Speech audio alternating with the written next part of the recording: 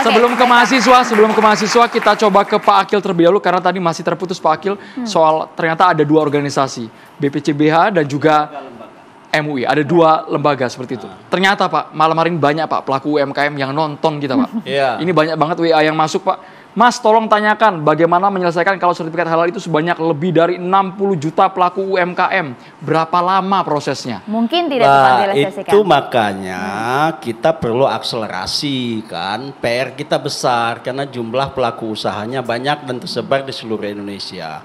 Sementara BPJPH itu punya keterbatasan kelembagaan. Saya ini cuma kepala dan badan. Nanti kalau jalan malam-malam dibilang apa tadi? Tuyul apa apa gitu. Karena cuma ada kepala dan badan, kaki sama tangan nggak punya di daerah. Jadi bagaimana langkah kita? Kita memperbanyak stakeholder, bersinergi dengan berkolaborasi dengan stakeholder yang ada di seluruh daerah dengan cara membentuk lembaga pemeriksa halal yang banyak, membentuk lembaga pendamping dan tenaga pendamping di seluruh Indonesia. Waktu tahun 2021 lembaga pemeriksa halal hanya cuma ada tiga.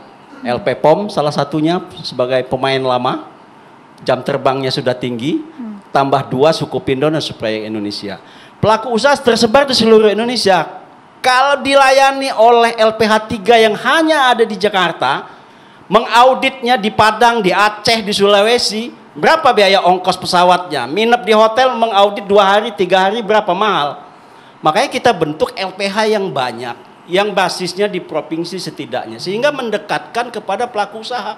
Sekarang jumlah LPH itu sudah 78. Bayangkan dari 3 menjadi 78. Kerja orang gila yang begini nih. Kerja orang gila yang 3 menjadi 78. Oh. Kenapa? Karena kita ingin melayani jumlah pelaku usaha yang banyak itu, Pak. Kalau cuma tiga, gimana kita bisa Hmm. Oke, mengakselerasinya? Jumlah lembaga Ya. pemeriksa halal dari nol, Pak, dari tidak ada menjadi 268. Dengan jumlah tenaga pendamping 100 ribu lebih yang kita latih. Tidak mungkin seharusnya ya. Dengan ada self declare ini jadi solusi. Sehingga ada self declare, kemudian ada reguler, maka ada 5 juta lebih produk sekarang yang sudah bersertifikat halal. Dari target kita mau sampai 10 juta, Pak. Pak Akil, tapi begini Pak Akil, dari 5 juta itu yang kemudian kemudian sudah bisa disertifikasi halal, nampaknya kita masih ingat pada tahun 2023 ada salah satu produk yang kemudian eh, mencirikan produknya sebagai wine halal begitu, dapat sertifikasi halal melalui self declare, tapi pada saat diuji oleh MUI dari tiga laboratorium hasilnya kadar alkoholnya tinggi Pak. Kebobolan ini bagaimana Pak? Ya, saat ini kan gimana ada aturan yang nggak diakali orang, Pak. Artinya kan mungkin bobol ya Pak ya? Jadi memang potensi penyimpangannya pasti ada.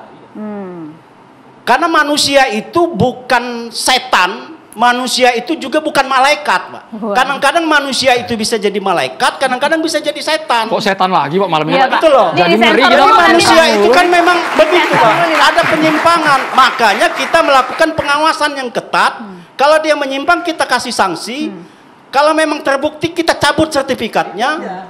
Kita kasih Sejauh ini peringatan. sudah ada berapa yang kemudian dicabut sertifikatnya Pak Akil? Kan nggak banyak, Pak. Dari 5 Ada, juta, ya. 5 juta lebih produk yang bersertifikat halal saya cek tadi bersama teman-teman teman-teman kami tadi udah ketemu konsolidasi Hmm. Ya. dengan Berapa jumlahnya, Pak MUI. Gil?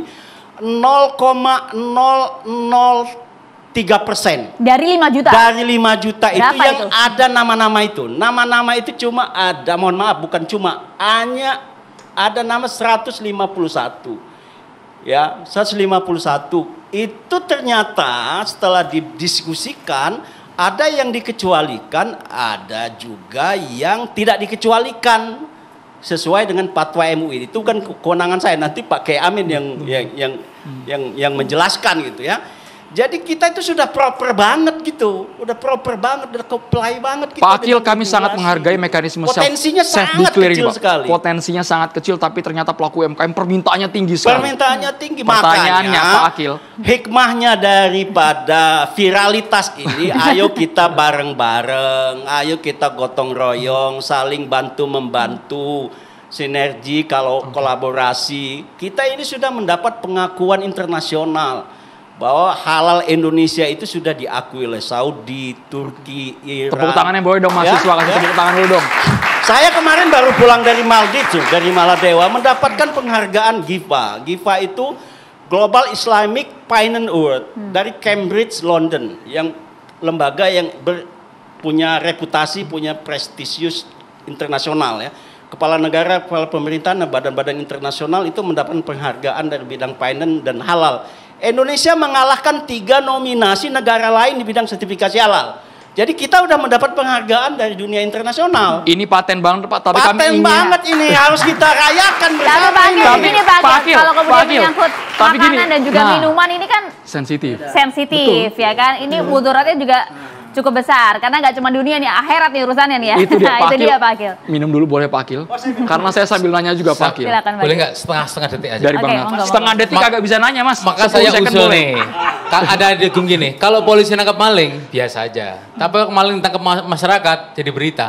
Maka saya usulkan, yang nangkap nangkap pelaku pelaku yang melanggar itu jangan masyarakat seperti hari ini yang nangkap media sosial. Kalau yang nangkap bapak udah biasa aja, tapi kalau yang nangkap nanti suatu saat nangkap media sosial atau nangkap saya di media sosial baru heboh, supaya nggak heboh, silakan bapak yang nangkap sendiri umumkan. Setiap bulan umumkan lo dari ini Ada nangkap- 150 banyak juga loh itu sebenarnya. Ya, tapi yang nangkep jangan media sosial, heboh nanti. Karena seolah-olah itu kebobolan kan Timnya tadi kan. terbatas Mas, timnya terbatas. Ah, nanti usul pada Prabowo, dilipat gandakan nanti LPH-nya maupun apa eh, eh, komite fatwanya Oke. supaya semakin banyak yang ketangkep yang main-main kayak gini karena ini berurusan dengan mayoritas muslim. Iya.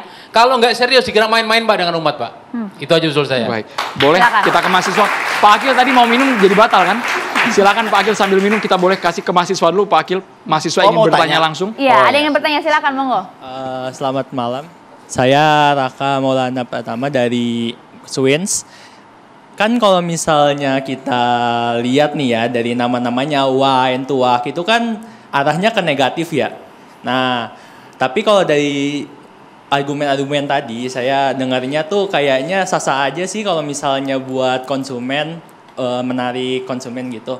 Tapi kan kalau kita lihat nih Gen Z nih ya, kalau misalnya apa-apa yang nyentrik, yang unik, pasti langsung dibeli tuh Pak. Nah, kalau misalnya kita beli, kita konsumsi, itu kita jadi kafir gak Pak kira-kira? Nah, Astagfirullah. Nah, ini langsung Kiai Aminuddin nih harus jawab nih. Monggo silakan Pak Kiai.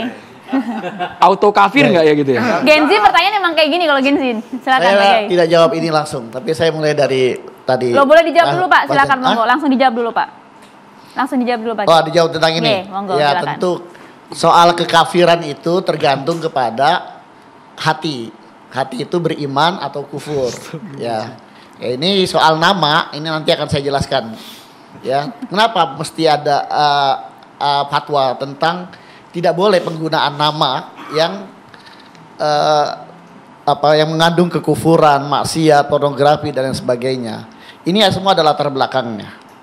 Jadi saya jelaskan. Dulu ya di tahun awal 2000-an itu itu terjadi sebuah revolusi dalam industri pangan. Dan salah satu ciri revolusi industri pangan itu adalah berkembangnya apa yang disebut dengan teknologi flavor. Flavor itu adalah cita rasa yang direkayasa tanpa harus bahan baku asli. Anda makan permen rasa anggur, itu bukan dari anggur asli. Karena dari anggur asli nggak mungkin harganya 100 rupiah. Anda makan permen rasa anggur itu adalah flavor anggur ditambah gula, ditambah air, ditambah aroma. Maka Anda makan seolah-olah Anda makan anggur. Padahal itu bukan anggur. Itu hanyalah sebuah kimiawi sintetik yang direkayasa seolah-olah menyerupai rasa anggur Baik. dan mendekati rasa anggur. Nah, dan semua makanan minuman kalau Anda masuk ke supermarket, Anda masuk ke mie instan, ke masuk ke ciki-cikian, Anda masuk ke susu segala macam, Anda lihat gre- ingredientnya. Anda akan ketemu dengan kata flavor, rasa. Ya. Anda masuk ke eh, apa resto yang ada eh, teh-teh gitu, ada satu counter kecil dia punya produk sampai 60 jenis teh gitu Iya. ya atau jenis rasa, Rasa. gitu. Itu adalah flavor. Dan flavor itu hanyalah sebuah kimia sintetik yang bahannya asli, eh, yang bahannya bukan asli. Dia hanya kimia. Nah, secara teoritis itu bisa dibuat mie instan rasa babi panggang, Astaga. tapi bukan dari babi. Ciki rasa babi apalagi itu ya, ba- barbecue babi misalnya. Belum ada itu ya tapi ya Ah. Pak. Belum ada Nah. tapi ya Pak. Dulu ada yang mengajukan Pak, bagaimana kalau saya buat mie instan rasa sup babi, tapi bukan dari babi, karena itu adalah pakai flavor, gitu loh. Rasa yang di yang direkayasa sehingga menyerupai rasa dengan sup babi, babi panggang dan lain sebagainya. Pakai kaldu babi, Pak ya. Nah, tidak, itu aja Flavor hanya, tadi, hanya, hanya flavor flavor ya, saja. Kalau menurut MUI bagaimana kalau yang Nah, pertanyaannya tadi, tadi, mana yang lebih kita pilih? Minyak samin cap babi atau minyak babi cap unta? Serba salah, Pak. Ini buah si malakama nih pilihannya. Nah, nggak bisa kan? Kalau disebut minyak babi cap unta gitu kan? Atau minyak samin cap babi gitu kan? Ah, maka ini kita larang. Dua-duanya itu ya berarti ya? Ah, nama, penamaan Ah. gitu. Maka Boleh pakai kita mic, larang. Bang Zen. dengar sebentar sebentar. Kita larang Supaya itu pemirsa bukan dengar, Pak. Ha, saya pemirsa dengar saya, saya jelaskan dulu sampai tuntas. Kita larang itu dalam arti kita tidak sertifikasi. Kenapa? ya tidak kita lanjutkan sertifikasi. Pertama itu akan membingungkan masyarakat. Bagaimana masyarakat membeli mie instan rasa babi panggang kemudian ada tulisan halal. Yang kedua kita mengedukasi masyarakat. Masyarakat kita harus diedukasi gitu loh Emang ada mie babi panggang? Hah? Mie babi panggang ada? Justru kita tidak sertifikasi. Minta sertifikasi halal ada? Ada. Dulu ada, awalnya ada. Yang Siapa yang mengajukan itu. Maka kita di- kita buat aturan ini tidak bisa disertifikasi. Apakah itu haram? Kita tidak katakan itu haram karena belum dibuktikan, belum diaudit. Apakah itu halal? Itu juga tidak halal karena kita belum buktikan kehalalannya. Hanya kita katakan tidak kita bisa sertifikasi Ya. halal. Ya, Karena itu- kalau itu disertifikasi mungkin- halal itu nanti akan membingungkan masyarakat ketika masyarakat membaca ada produk mie instan rasa babi panggang kemudian ada label halal di sebelahnya. Itu yang menjawab kema- mengapa nama kemudian menjadi mengapa salah nama? satu faktor penting. nah kemudian bentuk. Ya. Bentuk. bentuk itu bisa ada permen dibuat bentuk ya. Bentuknya itu bentuk babi bentuk anjing bentuk apa segala macam. Nah ini kalau di kalau di dibolehkan maka anak-anak kita makan permen. Oh bentuknya babi nih dimakan begitu. Ah, bentuknya anjing nih. Ah itu itu itu mengedukasi umat Islam.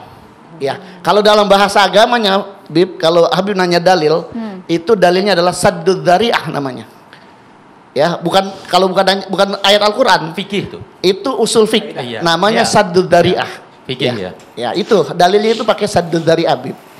Nah yang ketiga adalah aroma atau rasa. Ya.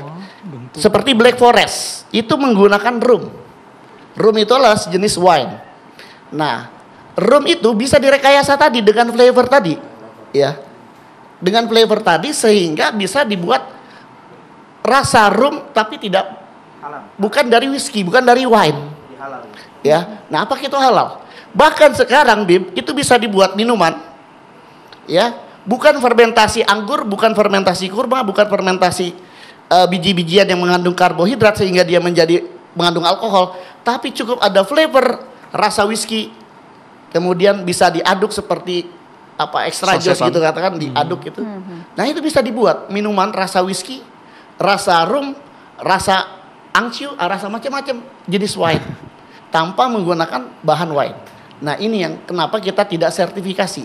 Jadi bukan kita katakan itu diharamkan bukan jadi beda kalau diharamkan benda itu dihukumnya haram Kenapa Ya. menolak sertifikasi? Kalau emang itu nggak haram. Karena dalam sertifikasi halal itu bukan hanya bahan dan proses.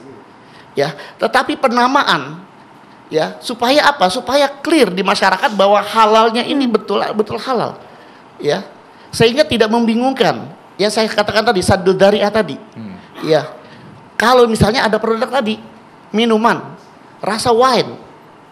Ya, tapi dia bukan dari hasil fermentasi anggur, kurma. Itu persoalannya. Hmm. Nah, jadi ini kenapa nama, bentuk, aroma, rasa itu tidak kita sertifikasi. Ya, kalau mau disertifikasi itu diganti. Nah, penamaan ini kemudian berkembang. Ya, penamaan ini berkembang. Ya, ada satu kopi yang sangat terkenal di masyarakat. Itu dulu mengajukan nama kopi selingkuh. Gitu kan? Kopi eh, apa namanya? ya kopi selingkuhan ada mie ya mie gacoan itu ada mie macam-macam gitu kan itu ada yang berbau pornografi berbau perzinahan berbau kemaksiatan nah maka itu ini tidak boleh maka kita Tolak. buat sebuah rambu-rambu ya majelis ulama rambu-rambu bahwa untuk nama dari satu produk yang akan disertifikasi halal, bentuknya, rasanya, aromanya itu hal tidak boleh mengandung kekufuran, mengandung kemaksiatan, pornografi dan atau bahan-bahan yang diharamkan. Tujuannya edukasi ya. Tujuannya edukasi dan itu juga sadud dari Saya bingung bentuk tadi sampai permen bentuk babi diharamkan. Yang diharamkan dari babi itu maaf makan dagingnya, tapi kita tidak boleh mengharamkan eksistensinya. tidak Kenapa- diharamkan. Iya. Garis bawah kata-kata saya, Ah, kenapa Ya. harus paranoid dengan bentuk? Kenapa Tidak, tidak. Bukan begini. Bukan diharamkan, beda. Antara tidak disertifikasi Iya. dengan Kenapa diharamkan. dis- itu dua hal yang berbeda. Disertifikasi kan nggak lebih bagus kan daripada liar. Jadi Oh. kesannya apa? Ada ada pembeda gitu. Kan kenapa sih dengan bentuk babi? Nama babi itu juga makhluk Tuhan. Kok sepertinya di Islam ini bentuk babi ini makhluk terkutuk gitu loh. Sampai bonekanya nggak boleh. Itu yang saya bayang itu aja. Soalnya yang diharamkan di babi itu makan dagingnya aja. Monggo dijawab dulu, Pak Kiai. Ya, begini ya. Persoalan halal dan haram, ulama sepakat bahwa halal dan haram itu adalah hal yang pertama diketahui dan harus diikuti oleh seseorang setelah dia bersyahadat. Dan halal dan haram itu dalam Islam sudah jelas al halalu bainun wal haramu bainun. Wa ma bainahuma amrun mustabihat. Ya. Faman waqa'a fi syubhat faqad waqa'a fil haram. Itu jelas hadis Nabi. Yang halal jelas putihnya, yang haram jelas hitamnya. Antara keduanya ada wilayah abu-abu yang namanya mustasyabihat. Barang siapa yang masuk kepada wilayah abu-abu, maka dia masuk kepada wilayah yang haram. Kalau ada mie instan, rasa babi panggang, itu kan syubhat. Cuma saya belum belum tahu Ya. itu kalau ada orang pakai itu mau bangkrut Ya. usaha. Ya. Pakai- Itu kan syubhat. Pakai merek babi panggang Nah. jual di Indonesia nggak laku Nah. bangkrut. Nah, karena itu syubhat, ya, itu masuk wilayah haram. Itulah dasarnya. Gitu, Bib. Ya cuma tadi saya berpikir kalau orang mau dijual di Indonesia pakai merek mie babi panggang ya bangkrut besok udah nggak ada yang beli. Belum tentu. Ah, Belum lah, tentu. Kalau dikasih halal ngapain? Kan tadi generasi Z bilang, kami suka tuh dengan yang nama-namanya unik ya. Iya. Ya kan? Nah, seperti itu, Bib. Yai, ah, Ya sudah. Sudah nyala, Yai, Gus? eh, ngapunten. Kalau tadi itu kan contoh memang babi kan memang haram ya. Sudah disebutkan di dalam ajaran agama kita. Tapi ketika itu nama seperti kayak misalnya kopi jahanam. Misalnya seperti itu. Itu kan jahanam itu kan bukan makanan seperti yang disampaikan oleh Yai. Nah, bagaimana dengan itu Yai? Ini kan bagian dari strategi marketing tetapi zatnya halal Yai. Misalnya kopi iblis karena saking ngerinya kopi tadi itu atau mie iblis kayak begitu-begitu tuh Yai. Nah ini kan beda dengan contoh yang Yai sampaikan tadi itu misalnya bentuknya babi. Kalau babi kan memang jelas ya. Tommy Fir'aun itu ya. Ah, kan kayak Oke, kalau ini Ya, nampaknya perlu yang kedua- penjelasan yang cukup detail ya Pak Kiai ya. Dijawabin nanti usai jeda ya. Sesaat lagi tetap bersama kami di catatan demokrasi.